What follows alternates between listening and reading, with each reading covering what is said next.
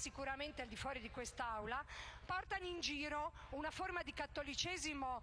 che però forse non considera il fatto che Gesù bambino stesso ha goduto di un padre che non era suo padre naturale. E non credo che questo sia mai stato concepito dal, dal dettato del Vangelo come un elemento di diminuzione della possibilità di questo bambino che per 30 anni è cresciuto con l'affetto di un padre consapevole di non essere il padre naturale.